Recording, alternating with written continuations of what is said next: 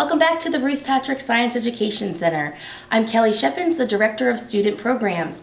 We're, today we're going to talk about reptiles. So start off, what is a reptile? A reptile is a cold-blooded creature.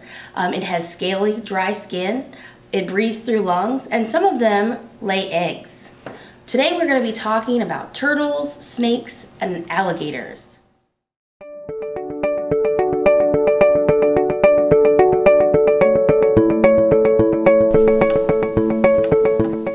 So first we're going to introduce you to the eastern box turtle. So we have a couple here. We have a male and a female box turtle. So we can kind of compare their sizes and some other characteristics that are different between the male and the female box turtles. So this one here, this smaller one, I'm going to put her down for right now.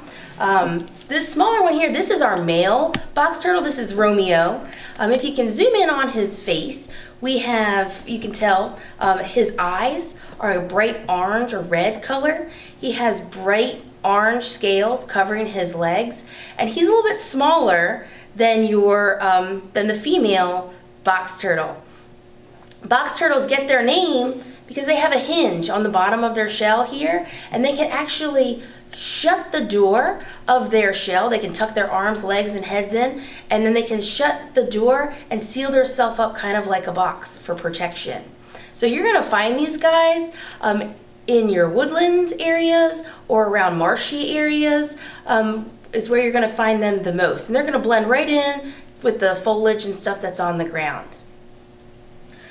Our female box turtle, you can see she's a little bit bigger in size. I'm gonna put him down for just a second. The scales on her legs are a lighter color. It's not the bright orange like the, the male box turtle. And even her eyes are not as bright either. They're more of a brown tan color.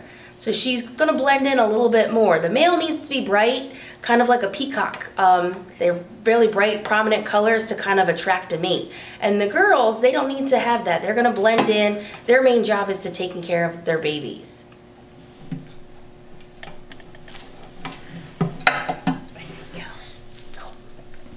We go. You see them side by side. You can kind of see the differences in them as well. So these guys are a terrestrial turtle. They're going to find them on land. They don't do well in water. Um, they'll go to the water, kind of cool themselves off and kind of soak a little bit, um, but they do not swim. They're not a, a swimming type of turtle. This is a gopher tortoise. So gopher tortoises, they get their name because they actually burrow in the ground and that is where they live. So they are built for digging holes underground. They have like a spade shaped foot here, if you can see the front foot. Perfect for digging and pushing that um, soil out of their way. If you look at their face, they have dark eyes. And if you can see their mouth, their beak almost looks like um, the knife, a, a blade of a knife, kind of serrated a little bit, they're going to use that to eat foliage, different types of grasses and things that they find. We feed her dandelion leaves um, and then other some fruits and vegetables as well that she uses that beak to kind of chomp through all those vegetables and leaves. So she is a tortoise, so she cannot bring her, her arms and legs completely into her shell and close up like our box turtle could. Um, but and she's very slow. She's got smaller back legs. You can kind of see those there. The smaller back legs. I'm going to put her down on the table. Can I do that? I'm going to put her down. See if she'll move a little bit for us.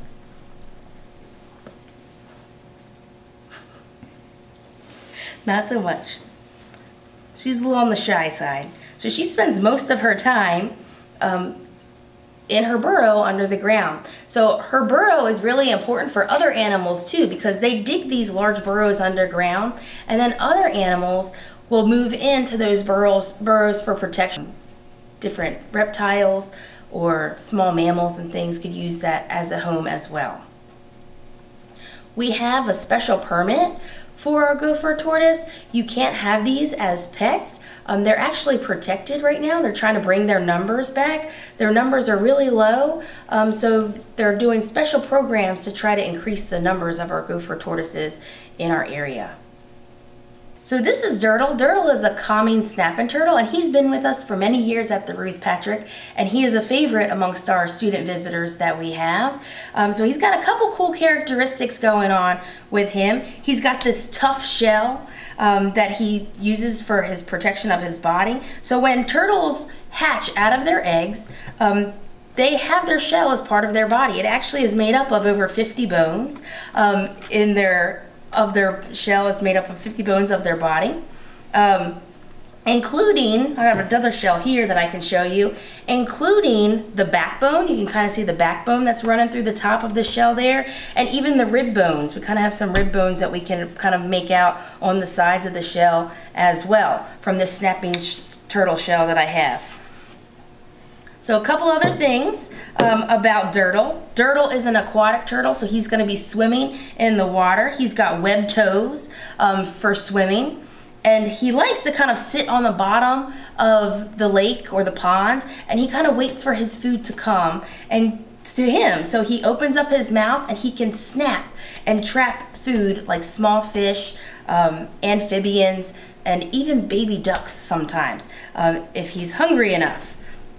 So I'm gonna pick him up just a little bit and turn him so you can see a close-up on his face. He's got our little beady eyes there. And then don't scoot off the table, Durdle. And his beak is very sharp for snapping through his food and catching on his food. So one of the wise tales about turtles is, or snapping turtles is once they snapped onto something, they would not um, let go until it rains. And that's not true. Eventually he's gonna get bored and he's gonna move on, but it does hurt when he bites down on um, to different um, foods and objects and things like that. So we make sure we keep our fingers away from his mouth and his head. So I'm gonna turn him around too, let you check out his tail.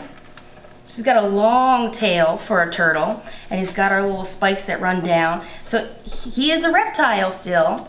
He is covered with that scaly skin, um, and he is cold-blooded, so he feels cold to the touch when you touch him, unless he's been basking in the sun, which snapping turtles really don't spend a lot of time in the sun.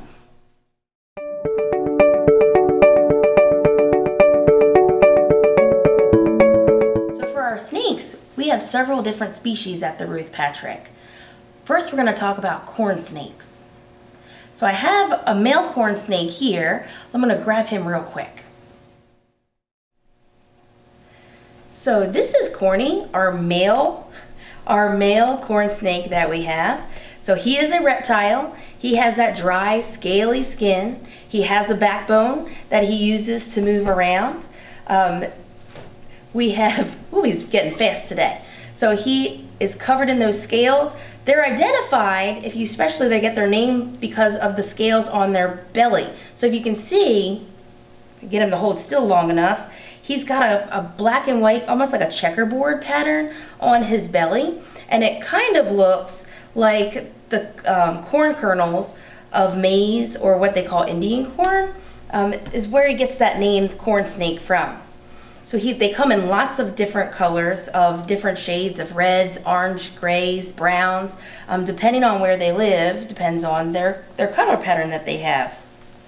So he's our male corn snake that we have. You can see he keeps sticking his tongue out. He's very curious right now. Um, when snakes stick their tongues out like that, what they're doing is they're actually tasting the air. So they're scenting the air with their tongue to see, am I a predator? Am I, possibly do I have prey for him because I'm the one that feeds him? So that's what he's kind of checking out right now. So we have a couple other snakes too, but before I move on from corny and corn snakes, I have another corn snake that I want to share with you as well. And her name is Casper. She's an albino corn snake. So give me one second, I'm to grab her. So this girl here, this is Casper, and she is an albino corn snake. So she's just like the snake that you just saw, except she's lacking that pigment of the traditional corn snake. So she has the white skin, and if you can see her eyes, they are pink. So she has no pigment in her eyes either. So she's got those pink eyes, and we can see that she is an albino. Now, reptiles are also cold-blooded. So as I'm holding her, she feels cold to the touch. And what they would like to do, especially on colder days, is they would like to lay out in the sun and warm themselves up, and the sun will help bring up their body temperature as they do that. During the winter, while we're teaching with our snakes, they like to try to slip into your like sweatshirt pocket or the hood of your sweatshirt while you're while you're carrying them around, somewhere where they can warm up and almost steal your body heat, um, so they can get warm from that. They use that warmth and bring their body heat up to help digest their food, and it makes them more active. They move around faster um, when their body heat rises as well. So this is our gray rat snake, Betsy. Um, we've had her for a couple years now.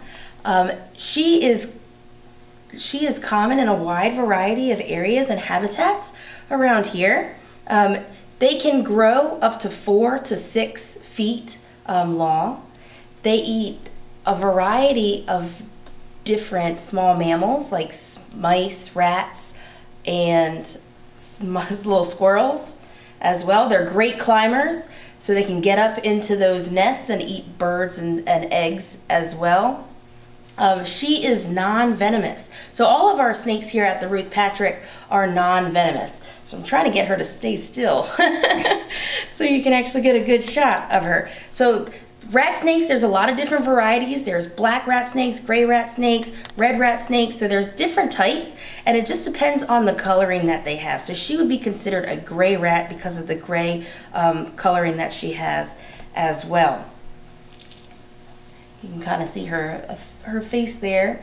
She's got a long black tongue. She's kind of smelling around, seeing what is in, what is in this area.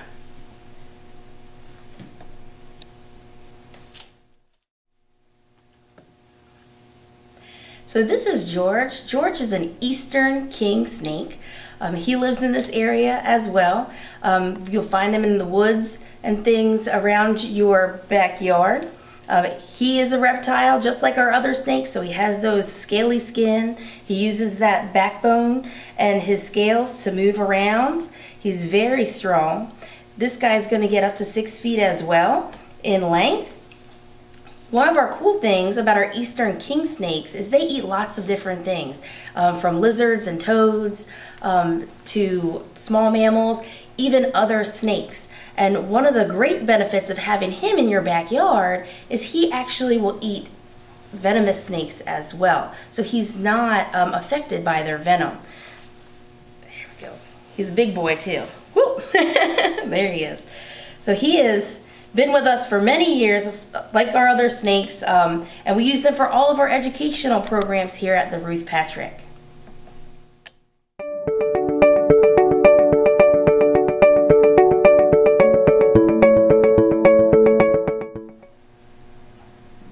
This is our American alligator, Holden. So Holden is a American alligator. He's about four or five years old. Um, we've had him since he was a baby um, and we use them for all of our educational programs. We use Holden to show people some of the characteristics of reptiles. So he has that dry, scaly skin, and his skin is very tough on his back, um, almost like armor. On his belly, he still is covered with scales, and they're a little bit softer, a little bit more vulnerable down here. So he has web toes. Those toes are going to help him swim in the swamps, the marsh areas. He's got this big, strong tail that's going to help him maneuver through the swamp as well. His coloring helps him blend in with the different um, grasses and other swampy waters. Hope he's calling there. So if you hear that, so that's the sound that a baby alligator makes when he's calling its mom. So up to about two years old, the mom will actually take care and protect their baby. So if you ever see a baby alligator, they look like they're easy to handle because they're so small. But you got to remember that mom is not far away. And if they make that sound, chances are mom will come running to protect them. So he also, even though he's he's young, let's see if I get him to open up his mouth for us. There we go. So he's got lots of sharp little teeth in there, and he uses those when he catches his prey. So he is built perfectly to live in those that murky water of the swamp. His eyes are kind of set up high on top of his head, and if he hits a tree branch, they'll kind of like drop down into the skull a little bit. And he has a special eyelid that will cover his eyes, help him see underwater. His nostrils are right there on the tip of his snout. They're gonna stick up over the water's edge so he can just stick his nose out. Um, because remember, he's a reptile. Reptiles need their lungs in order to breathe oxygen. So he's gonna breathe with his lungs. He can stick that out and pop up out from underneath of the water and just stick his nose out so he can sneak up on his prey.